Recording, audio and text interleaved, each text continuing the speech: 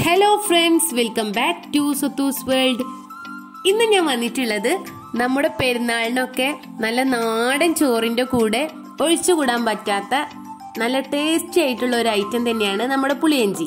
അപ്പോൾ അതിന്റെ നല്ല ഈസി ആയിട്ട് എങ്ങനെ നമുക്ക് ഉണ്ടാക്കാന്നുള്ള റെസിപ്പിയുമായിട്ടാണ് ഞാൻ വന്നിട്ടുള്ളത്. അപ്പോൾ എല്ലാവരും വീഡിയോ ഫുള്ളായിട്ട് കണ്ടു നോക്കൂട്ടോ.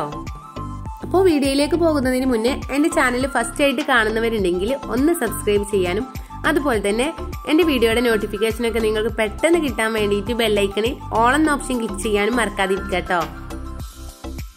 അപ്പോൾ ഫസ്റ്റ് ആയിട്ട് നമുക്ക് വേണ്ടത് ഇതിലേക്ക് പുളി എടുക്കണം. അപ്പോൾ നല്ല കറുത്ത പുളിയാവുന്നതാണ് നമുക്ക് പുളിയഞ്ചിക്ക് നല്ല കളർ കിട്ടാനും അതേപോലെ ടേസ്റ്റ് കിട്ടാനും നല്ലത് കേട്ടോ ഞാനിവിടെ ഒരു മീഡിയം സൈസിലുള്ള തക്കാളിയുടെ വലിപ്പത്തിൽ പുളി എടുത്തിട്ടുണ്ട്.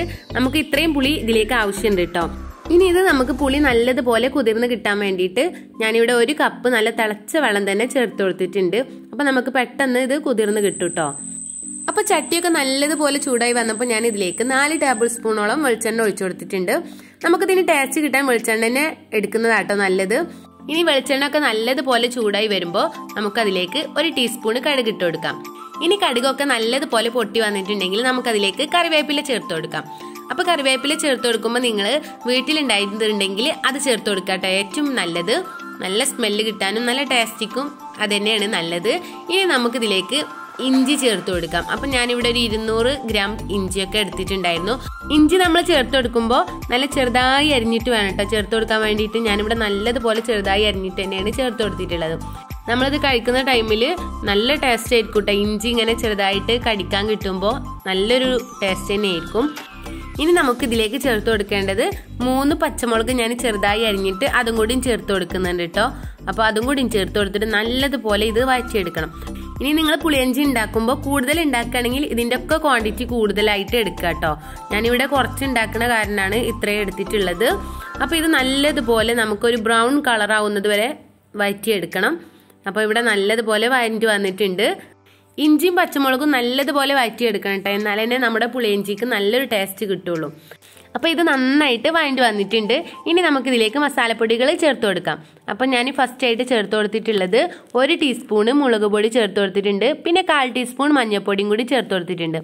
പിന്നെ ഞാൻ ഇതിലേക്ക് ചേർത്ത് കൊടുത്തിട്ടുള്ളത് ഒരു അര ടീസ്പൂണ് അച്ചാർ പൊടി ആഡ് ചെയ്ത് കൊടുത്തിട്ടുണ്ട്. അപ്പോൾ അച്ചാർ പൊടി ആഡ് ചെയ്ത് കൊടുക്കണമെന്നൊന്നുമില്ല ഓപ്ഷനിലാണ് ഞാൻ ഇതിന് ടേസ്റ്റ് കൂടുതൽ കിട്ടാൻ വേണ്ടിയിട്ട് ചേർത്ത് കൊടുത്തതാട്ടോ.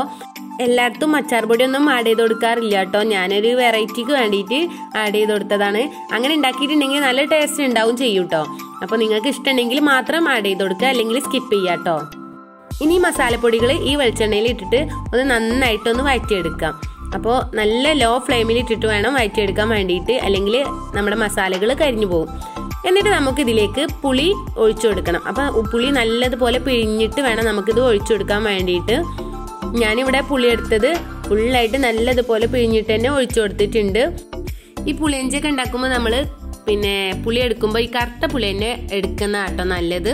അപ്പം ഞാനിവിടെ ഫുള്ളായിട്ടുള്ള പുളിയും ഇതിലേക്ക് പിഴിഞ്ഞിട്ട് ഒഴിച്ചു കൊടുത്തിട്ടുണ്ട്. ഇനി നമുക്കിതിലേക്ക് ഉപ്പ് ചേർത്ത് കൊടുക്കണം. അപ്പം ഞാനിവിടെ ഒരു ടീസ്പൂണോളം ഉപ്പ് ഇതിലേക്ക് ആഡ് ചെയ്ത് കൊടുത്തിട്ടുണ്ട്.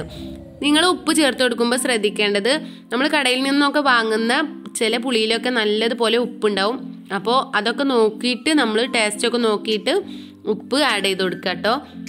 ഇനി ഇത് നമുക്ക് ഹൈ ഫ്ലെയിമിൽ ഇട്ടിട്ട് തന്നെ നല്ലതുപോലെ തിളപ്പിച്ചിട്ട് ചെറുതായി ഒന്ന് കുറുകി വരുമ്പോൾ ഇതിലേക്ക് ഞാൻ നാല് ശർക്കര ചേർത്ത് കൊടുക്കുന്നുണ്ട്. അതൊന്ന് ചെറുതായിട്ട് പൊടിച്ചിട്ട് വേണം നമ്മൾ ഇതിലേക്ക് ചേർത്ത് കൊടുക്കാൻ വേണ്ടിയിട്ട്. അങ്ങനെ ചേർത്ത് കൊടുത്താലും കുഴപ്പമൊന്നുമില്ല.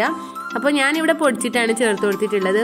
അത് പൊടിച്ച് ചേർത്ത് കൊടുത്തിട്ട് നമുക്കിത് നല്ലതുപോലെ ഒന്ന് മിക്സ് ചെയ്തിട്ട് ഒരു മീഡിയം ഫ്ലെയിമിലിട്ടിട്ട് നന്നായിട്ട് ഇതൊന്ന് കുറുക്കിയെടുക്കാം. ഇനി ഇത് നന്നായിട്ട് കുറുക്കിയെടുക്കുന്നതിനനുസരിച്ചിട്ടാണ് നമ്മുടെ പുളിയഞ്ചി റെഡിയായി കിട്ടുക. ഇത് നന്നായിട്ട് തന്നെ കുറുകി കിട്ടണം. അപ്പൊ ഞാനിവിടെ നന്നായിട്ട് കുറുക്കി എടുത്തിട്ടുണ്ട്. ഇത്രയും മതി. അപ്പൊ കുറുക്കി എടുത്തത്. ഇനി ഇത് ഇരിക്കും തോറും ഒന്നുകൂടെ കുറുകി വരും. അപ്പം ഞാനിവിടെ രണ്ട് മണിക്കൂറൊക്കെ കഴിഞ്ഞിട്ട് പിന്നെ എടുത്തപ്പോൾ നന്നായിട്ട് കുറുകി കിട്ടിയിട്ടുണ്ടായിരുന്നു കേട്ടോ. അപ്പോൾ ഈ ഒരു കൺസിസ്റ്റൻസിലാട്ടോ നമുക്ക് വേണ്ടത്. അപ്പം നമ്മുടെ പുളിയഞ്ചൊക്കെ ഇവിടെ റെഡിയായി കിട്ടിയിട്ടുണ്ട് കേട്ടോ. പിന്നെ ഇതൊരാഴ്ചയൊക്കെ പുറത്ത് വെച്ചാലും കേട് വരുമൊന്നുമില്ല വേണമെങ്കിൽ നമുക്ക് ഫ്രിഡ്ജിലും വെക്കാം.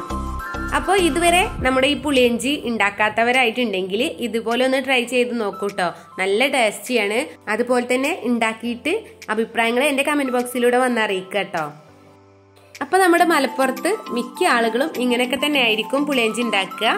നമ്മുടെ നാട്ടിൽ പെരുന്നാളിനൊക്കെ ഒഴിച്ചുകൂടാൻ പറ്റാത്ത ഒന്ന് തന്നെയാണ് കേട്ടോ ഈ പുളിയഞ്ചി. അപ്പോൾ എന്റെ ഈ റെസിപ്പി നിങ്ങൾക്കൊക്കെ ഇഷ്ടമായി എന്ന് വിചാരിക്കുന്നു. ഇഷ്ടമായിട്ടുണ്ടെങ്കിൽ എനിക്ക് ലൈക്ക് ചെയ്യാനും അതുപോലെ തന്നെ മറ്റുള്ളവർക്ക് ഒന്ന് ഷെയർ ചെയ്ത് കൊടുക്കാനും. പിന്നെ ഞാൻ പറഞ്ഞതുപോലെ തന്നെ അഭിപ്രായങ്ങൾ എന്റെ കമന്റ് ബോക്സിലൂടെ വന്നറിയിക്കുക. അപ്പോൾ അടുത്ത നല്ലൊരു വീഡിയോയുമായി നമുക്ക് വീണ്ടും കാണാം. ഇൻഷാല്ലാം